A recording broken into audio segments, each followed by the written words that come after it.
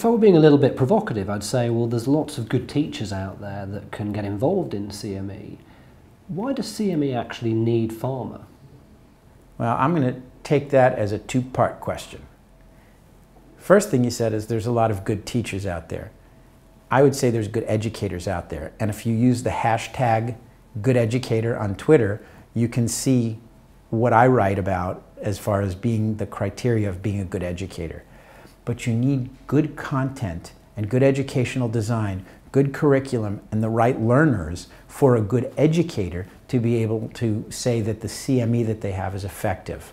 So um, that's, that's sort of part one. Part two, why do we need pharma? We need the appropriate resources and support so that we can develop the education that really uh, is able to reach the learners on a variety of platforms, face-to-face, live, uh, online, mobile, whatever the platform. And the reality is the money doesn't exist. You know, it, it doesn't come from too many other places. So pharma has a very important role, not just as the supporter, but as a key stakeholder within the CME community.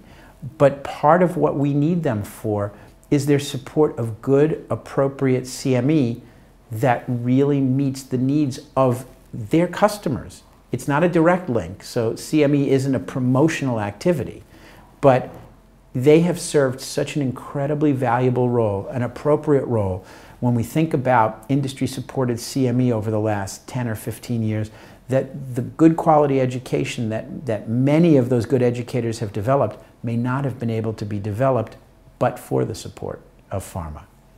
Now, you mentioned there about CME not being promotional, but of course there are issues around transparency, around trust, around potential bias and conflict of interest with pharma.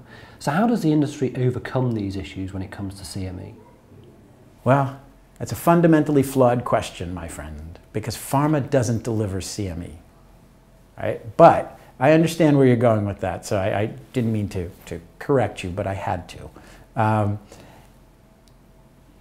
conflict of interest, bias, transparency, all serve to make CME better. CME by definition needs to be independent.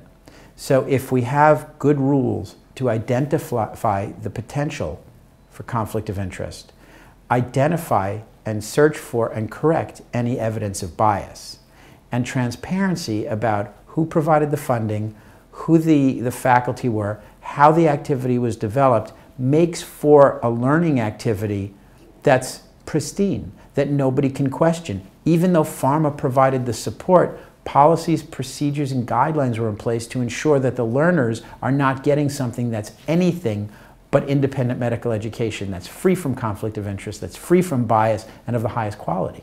Who do you think is delivering really good CME at the moment? Who would you regard as, I guess, beacons of good practice?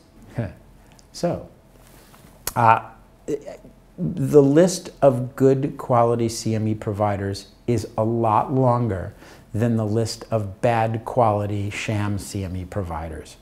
Uh, it, it, it, would be self-serving for me to say, well, my companies, because we have several, uh, are, are the best providers of CME. What I would say is, if you go to the major CME meetings, I mean the ones where we as CME educators uh, get together to talk about best practices, and you look around the room, you'll see the people who understand that they need to continue to learn more about CME, and those people represent the private companies, specialty societies, and universities that are committed to developing and providing good quality CME.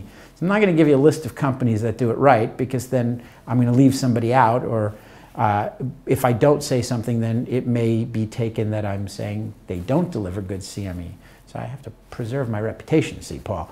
But I will say that there are a lot of good providers of CME, and it's really in the hands of the learners, the doctors, the nurses, the pharmacists, whoever's taking the course, to be the judge of whether it meets their needs and they're satisfied.